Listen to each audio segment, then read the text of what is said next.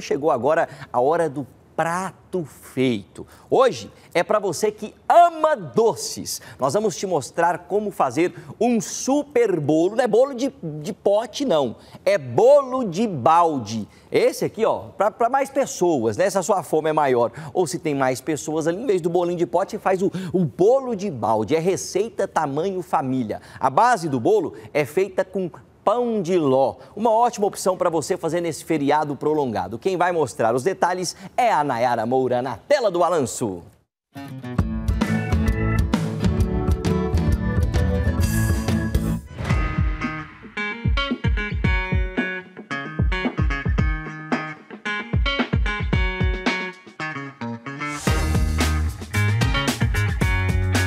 Gente, o prato feito de hoje vai ensinar uma receita de sobremesa. Daquelas que agrada todo mundo, sabe?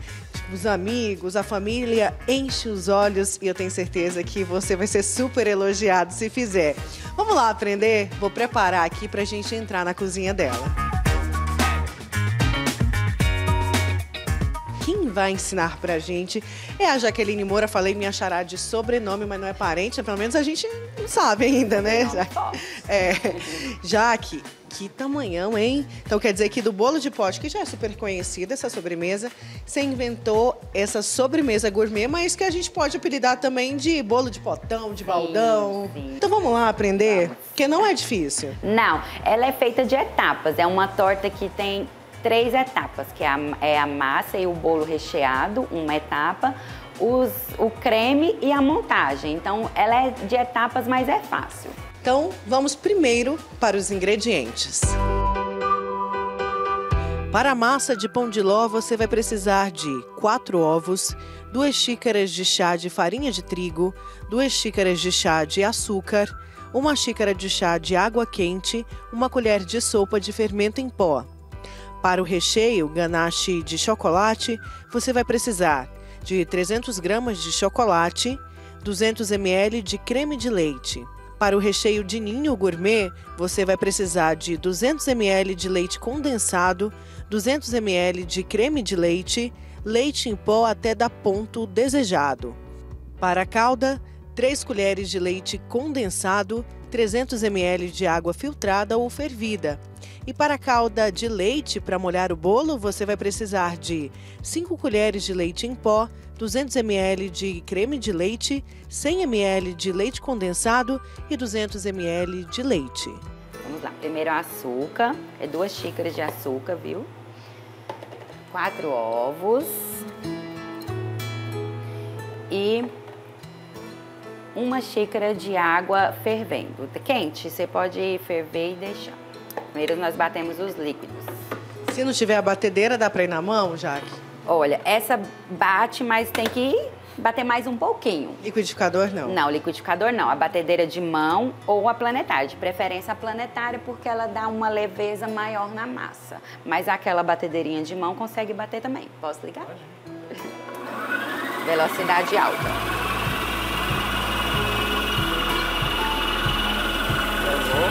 Colocando a farinha de trigo aos poucos.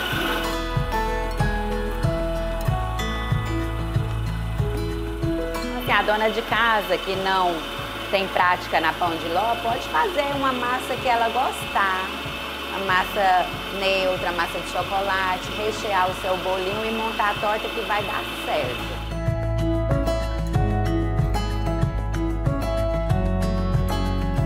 Gente, vamos ver então a consistência da massa, até para o pessoal de casa entender como que tem que ficar, né, Jaque? Assim, nossa, ela dobra mesmo de tamanho, hein? Ela fica bem fofinha. Eu vou ensinar um segredinho aqui para vocês. Eu não uso desmoldante, nem manteiga, farinha de trigo, não. Há muitos anos eu uso uma folhinha A4. A gente... Folha A4 mesmo? Isso. Porque aqui na borda você não pode passar nada. Porque se você coloca a massa sola. Então a gente tem que proteger o fundo para ela não apregar. Então é folhinha A4 mesmo ou papel manteiga. Como a folhinha A4 é bem mais em conta do que o papel manteiga ajuda no custo, né? Então a gente usa uma folhinha A4. E ela rende uma forma de 22 centímetros. E dá para fazer um bolo, se a pessoa for rechear e decorar, de até 3 quilos. Jaque, quanto tempo de forno? De 35 a 40 minutos, desse tamanho, só Quantos ela. graus? A No normal. 250. Você aquece o forno, depois 250 e vai só espetando com palitinho no final.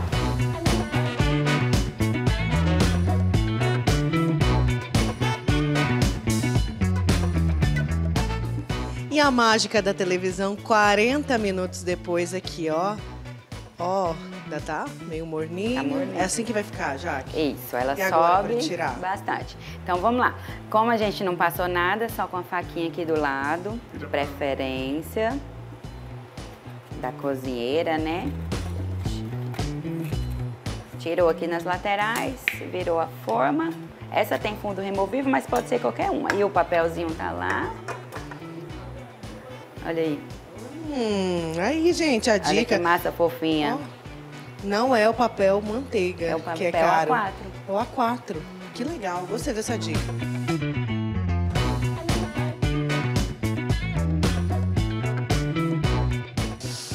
E cheirinho. Hum. E agora, deixa aí. Deixa reservada ela.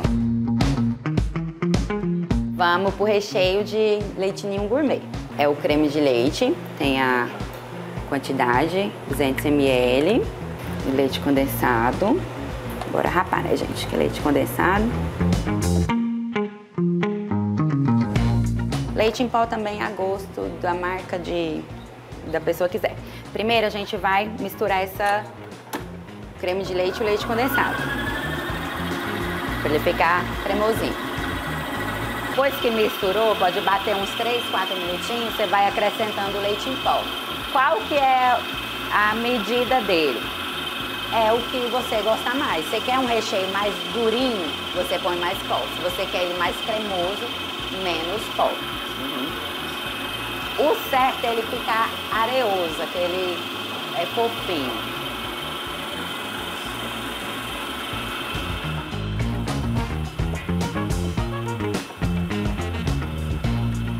Ele vai virar um creme.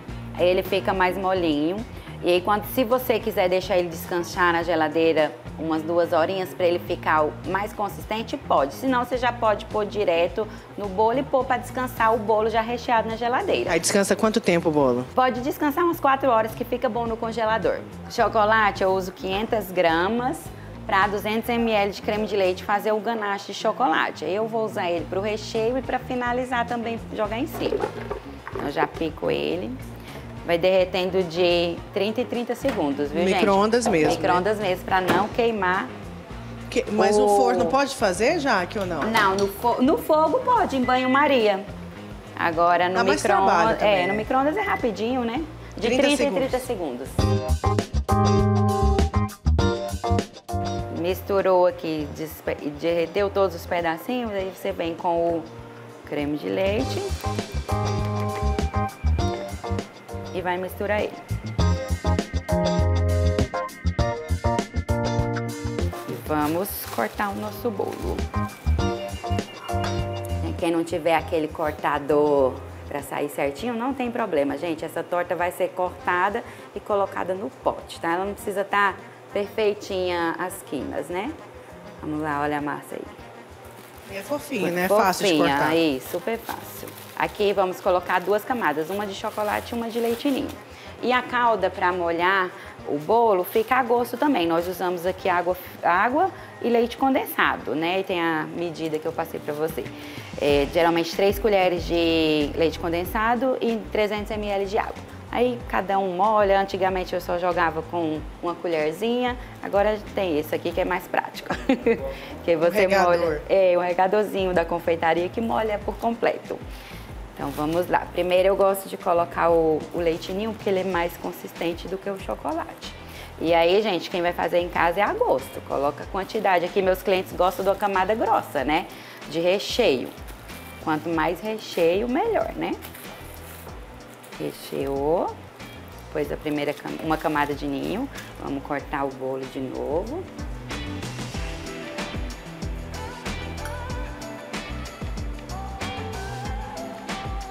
Fofinho, não quebra, sabe? Ele é bem consistente. Molhou de novo.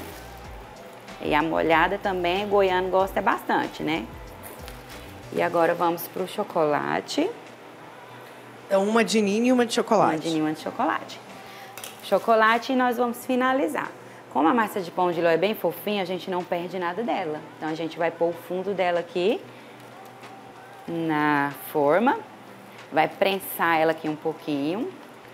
Finalizou a molhada. Vai fechar e vai pro freezer descansar por 4 horas. Vamos mostrar como que é a apresentação, até porque você vai fazer aí na sua casa ou para venda, então isso é importante. Tá aqui, Vamos tá lá. desse jeitinho, né, Gente, Jaque? vai, eu viro aqui a bandejinha. Pode ser um prato Pode grande, ser um né? prato em casa, bande- tabinha de madeira. Vamos desenformar. Ela em casa vai estar bem durinha, que já vai estar bem resfriada, viu, gente? Pode cortar é, quadradinho, redondo, do, assim, igual uma pizza à vontade. Posso pôr? É, pode pôr, só pra Então, gente aqui mostrar. ela aqui. cabe duas fatias generosas. Você viu que foi a metade do bolo aqui, né? Esse bolo aqui é um bolo de 2 quilos na forma. Gente, Olha o que sobra. Dá pra congelar e depois Tá, fazer? pode congelar e Pra uma fazer outra depois, ocasião, aham. Ela dura congelada em média 20 a 30 dias no freezer. Naquele forminha ensacadinho, dura tranquilo. Calda de leite ninho, gente, é o mesmo recheio, só que nós vamos acrescentar aqui, já acrescentamos 100 ml de leite para ela ficar mais líquida. Tá vendo? É o que sobrou lá do recheio. Isso, é o que sobrou do recheio, aquela medida já vai dar. E o ganache de chocolate. Que foi o mesmo que foi feito. Foi o mesmo que foi feito. Ele fica bem misturadinho, chocolate com leite ninho. E aí você vai finalizar a gosto. Aqui a gente coloca um moranguinho. Você pode fazer de outros sabores, de Uma óleo, cereja, de cereja. E aí você vai decorar no seu gosto ou de acordo com o sabor. Doce pronto. Então é minha vez de experimentar. Posso contar de qualquer jeito? Pode aqui? pegar de colher. aham. Ah, aqui, gente, ó. Hum, vou pegar mais um pedaço. Pode ficar à vontade, muito bom.